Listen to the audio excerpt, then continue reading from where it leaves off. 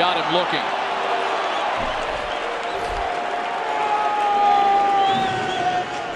Right there, you just tip your hat if you're Conor Gillaspie, painted on the outside part of the plate. I mean, think about that week. He took a closer for the Mets, three-run homer, and he took Aroldis Chapman for a triple. Yeah.